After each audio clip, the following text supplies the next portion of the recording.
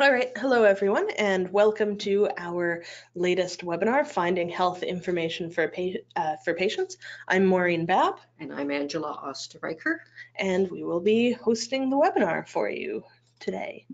Um, so uh, in terms of what we're going to cover today, we're going to briefly introduce you to the WRHA Virtual Library if you aren't already familiar with it. Um, we're going to take you through uh, the Virtual Library's Patient Education Toolkit, which is a valuable tool for when you need to access or discover patient ed uh, education information. Um, we will highlight some specific patient education resources which are linked to on the toolkit. Um, we will show you how to find patient education information in UpToDate, uh, which may be a tool that you are already using. Um, and then we'll give you some general tips on finding additional patient education resources. And we'll let you know what the virtual library can do for you aside from have a toolkit about patient education. And then we're going to alert you about the upcoming library closure. And by library closure, we mean holiday closure. Uh, and so there will be a brief period of time during which we are not open to do some of the services that we discuss today. Mm -hmm. So what is the virtual library? Uh, we provide library services to WRHA staff, eligible community health agencies, and personal care homes. We provide access to a number of otherwise paywalled electronic resources, um, databases like Medlines and all that sort of thing. Um, and we also provide library services such as literature searches, document delivery, and education and training sessions like this one. Uh, so I'll pass it over to Angela now. So patient education, you might be in a situation where you have to create uh, resources for your clients, or you might be in a situation where clients come to you with information or you need to direct them to information. Perhaps they've been newly diagnosed with something and they would like more information on it. So we'd like to help you with uh, where you can find this information and hopefully to make sure that uh, when you have that information that it is reliable. So on our homepage, uh, we have a couple of places. They're both the same uh, access points. Uh, the first one is the find information boxes down below. And along the top, we have tabs. Uh, that one there is find information as well. They both get you to the same places. And the reason I'm directing you here is because we have toolkits and if you click on the box with the toolkits, that'll bring you to our page of toolkits. So these are the, what a toolkit is, is we've uh, looked all the resources that we have uh, for the WRHA, uh, whether they're um, uh, databases or journals or uh, websites, books, uh, ebooks that we have. We've tried to pull all the information together based on a topic to make it simpler for you to find that information. These are just a few of the titles that we've created so far, and we're really happy to do them in conjunction with our clients. So if any of you have a burning desire for another topic that we don't have up there, feel free to suggest it, and we'd be happy to work with you on that. We do have one here that's for patient education. So if you click on that one, that opens up our patient education toolkit. And it's this one is done a little differently, but it's basically the same. So we have a few websites and Maureen will be going into some of those in a few minutes in more detail with you. So we have some general websites that we're recommending you can go to, as well as tools that you can use uh, and direct your your uh, patients to. Uh, but what we've also done here is we've created patient uh, subject specific handouts that you could give to your patients as well. Uh, there's a few topics there that you can see. The list is actually longer than that. And on the uh, right hand side are the multilingual patient education ones that we have. Uh, so that they are available in different languages. And just to let you know, we're not we don't speak those languages. We've just found the information for you. So if we go into one of those, just to give an idea of what it looks like, uh, we've just given a few online resources and uh, books. And if we don't have the books, we've also listed them uh, for the public library books that you can recommend, for instance, on brain injury. So some good uh, association and uh, other foundation resources that uh, you can use yourself or direct your clients to. Yeah, and just like with the toolkits, if you want a new toolkit, if you didn't see a topic that you think that we should have subject specific handouts for a patient to find additional information about, like if you wanted something on a specific type of cancer or or something, uh, get in contact with us and we'll be Mhm. happy to build a new handout for you for that sort of thing as well. Um, or in one of the resources itself, if you happen to notice that we're missing some key resource that you happen to know exists, please by all means get in contact with us. Yeah. Um, so you saw on the left-hand side, sorry, okay. of the toolkit, uh, that there were those uh, links to patient education resources, and those are external websites that we don't manage, but that we do suggest as places for patients to go through. I'm not going to go through each and every one of them, but I'm going to highlight a few specific ones uh, that I think are particularly valuable and maybe not as well known to you as some of the other ones. Like there's one that's actually a WRHA resource, and you being with the WRHA, I suspect that you may already know about that one. Um, and so one of them is this Manitoba 211, and this is a way that your patients can find information, find services about um, specific topics. So you can see if they're dealing, if they're struggling with housing and homelessness, or if they need specific resources for youth, older adults, LGBTQS, uh, oh, 2SQ plus. The end of the acronym always changes. Mhm. Um, uh, and post evacuation resources, any of that sort of stuff for the province of Manitoba, you can punch in your postal code and they'll show you resources in the area um, that you can check out. Now, this isn't a comprehensive list of resources in the area, and some of them are, uh, I would say they show limited results, but nonetheless, uh, your uh, patients can certainly go there and have a look and see what services are available. to very reasonable starting place, but it may not end up being a finishing place. um, another resource that you can use is Medline Plus. Now, this is put out by the National Library of Medicine in the United States, and it provides information that is geared at a level uh, towards patients, towards public education. Um, so it's high quality material because it is, of course, from the NLM and it's easy to comprehend. You can see here there uh, information on different health topics. And if you click on that, there's quite a variety of uh, different topics in there, uh, drugs and supplements and some videos and tutorials and information about medical tests, why you're getting them, what those tests entail. Um, so this is a, a valuable resource that has a lot of information in it for people who need to know more. Um, so if you go into one of the topics here, so in this case, I'd gone to that health topics button and then selected from a, a vastly long list, one at random, diabetic kidney problems. And so you can see there's basic information, there's a summary, there's uh, information about the diagnosis and tests, what they are. Um, sorry. Uh, um, what they are, why they're um,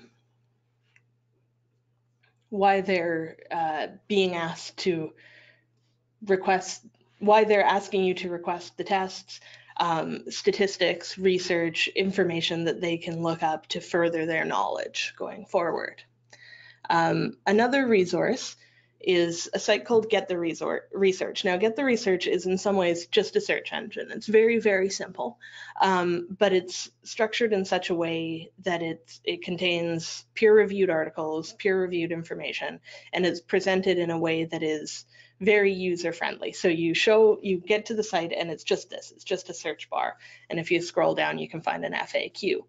But whatever topic you put in, and they've got some suggestions there, vaccines and autism, how safe is bicycling or chocolate generally. Um, I chose to. Safe, safe, very safe. of course, chocolate is super safe, and uh, with the holidays coming up, I've definitely been eating a lot of it. Um, so I've chosen to look up transgender children, uh, and you can see that they've got on the side here, they've got a definition of transgender that's being pulled from Wikipedia, but it gives the person doing a search context for what they're uh, exploring. And then they've got uh, information, um, the as you scroll down, there can be more information, but there's there's peer-reviewed studies you can see there and it tells you what kind of study they are if it's a review. Um, in some cases, it'll tell you about the quality of information that you're looking at. Um, and then the in the FAQ section on the Get the Research page, there's guides on how to read scientific articles for people who aren't familiar with them. So some summaries are provided. Uh, they give the abstracts on the site itself. If people want to read further into the articles, there's I mean, it's it's still material that's meant for uh, for clinicians and for scholars, but there's guidance on how to look at this information and how to recognize good quality information. Um,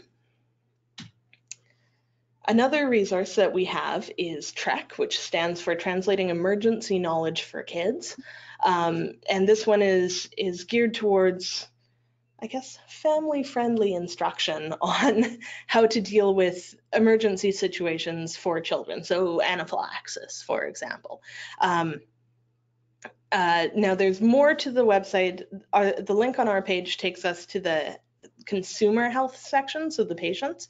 Uh, there's more on the TREK page, including uh, information for clinicians and things like physician orders that you can fill out so that they can provide it if they have to take their child to the emergency department or anything like that. Um, but in the consumer health information, they've got these informative videos, they've got a few handouts, they've got um, summaries about key conditions that children might have and what it means and what it means for you as a parent, what your responsibilities are, what you need to be aware of, what the symptoms are. And the videos that they have are very cute actually, and I highly recommend watching some of them, but they're an informative and um, an informative tool that doesn't require a great deal of reading or, or um, anything like that. So another thing that you may or may not be aware of, you may have used UpToDate. If you have used UpToDate before, great. If you haven't used UpToDate uh, before, it is a, a, point of care resource that in, is in some ways a, an encyclopedia with information about different health topics. Um, we had previously done a webinar on UpToDate, uh, and you can check that out on our library training page. It's still up there. It's called UpToDate with UpToDate. It was one of our first webinars, so it's early in the list. Um, but assuming that you know how to use UpToDate, um, you go into UpToDate, you do a search, fairly straightforward. And as a general rule, if you do a search in UpToDate, the information you either need is it's there or it isn't. And if it isn't there, finessing your search isn't going to give you a great deal more information than what you had initially done. So in this case, I've done a search for diabetes and unsurprisingly, there's a lot of information available for diabetes, but you can see at the top of the bar there that there's uh, right now there's the blue selected all, but you can see adult, pediatric, patient, and graphics. Now, in this particular instance, what you're interested in is the patient section. So if you click on that, you're taken to, um, again, a, a, narrowed list of topics. And you can see patient education. Um, and there's sort of two sections of patient education. There's the basics and the beyond the basics. And beyond the basics is for people who want a little bit more information or are already familiar with what you're talking about. But the basics is for um, you know, people who are new to a condition who just need some information. So if you click on one of these, you're uh, taken into patient education, diabetic, ketoacidosis, the basics. And so it provides you some basic information, unsurprisingly, I guess, from the title. Uh, you've got a what is, you've got what causes it, what are the symptoms, information about whether they should be seeing a doctor or nurse, what are the tests for it, um, how is it treated, how can it be prevented, and then a further reading section more on this topic. Um, and so you can print this off, you can hand it out to your patients, that's fine. You can also uh, share it with them. And if you press the share button, it'll send them an email with a link to this page. Now, if you do that, um, all the little related topics that may be helpful for them to look at, they won't be able to access those because they don't have a subscription to UpToDate. So if you want them to read those related topics, you need to also share those ones with them directly. Um, And it is available in Spanish. and it is available in Spanish. Um, American resource, obviously. Yes, yes. Uh, and so that is UpToDate. Uh, the Beyond the Basics is very similar, uh, same sort of rules, but just more information. And not every topic that is covered in UpToDate has patient education options available, but a lot of the more common conditions do. And these are written by clinicians. Yes, yes, they are written by clinicians, and you've, you can see- see there they've got the written by the doctors and editors at UpToDate. If you click on that, you can actually see who's writing them, And and usually at the bottom, it tells you when it was last updated Yes. as well. Yeah. So finding more information for patients or at least evaluating it. So if you want to go to the next screen. um, Sometimes uh, you need to find other resources for your clients or your patients have seen something in the news and you want to direct them to more reliable information. So lots of times uh, people resort to Googling. And if you do that, you have to be aware that uh, there can be a lot of misinformation. So we've got a few, just a few basic tips here on what to look for. Uh, the first thing that you're going to want to think about is who's paying for this site and what is their motive for having this site. So just figure out if there's a financial or a political purpose for this site. Um, I certainly would be looking at dot .com with uh, with a weary, careful eye. careful eye, careful eye, yes. Uh, but basically, if you look for, you know, .edu, education, university sites, or uh, well-known societies uh, like the Cancer Society, um, or if you look for association sites, uh, that would be your best bet.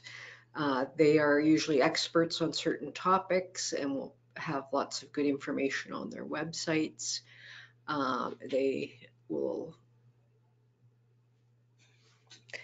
Yeah, um, the associations and societies generally are Mhm. focused on a condition in a way Yeah. that other resources just aren't. So they'll have tons of information. They they won't just have, you know, a handout. They'll have Yeah. several handouts at several different levels. They'll have not just handouts but reports, brochures. white papers. yeah.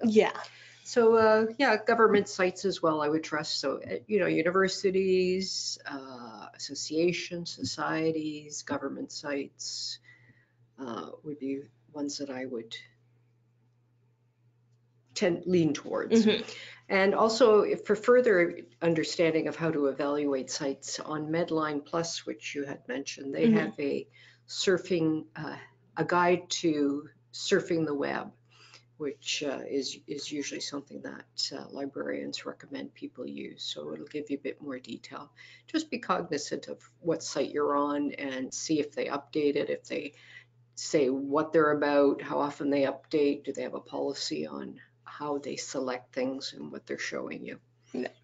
Yeah, one of the other things to consider is to look for specifically local organizations because that might help with not only what is available on this topic, but what is available to this person in this city right now. Mhm, mhm. So. So we can help you as well. Uh, You don't have to do uh, the searching for your clients or for yourself. Uh, If you need information that you need to pass on to them, we're happy to do literature searches for you. Uh, You can access the databases that we have for you yourself, but we also have access to other databases because we are part of the University of Manitoba.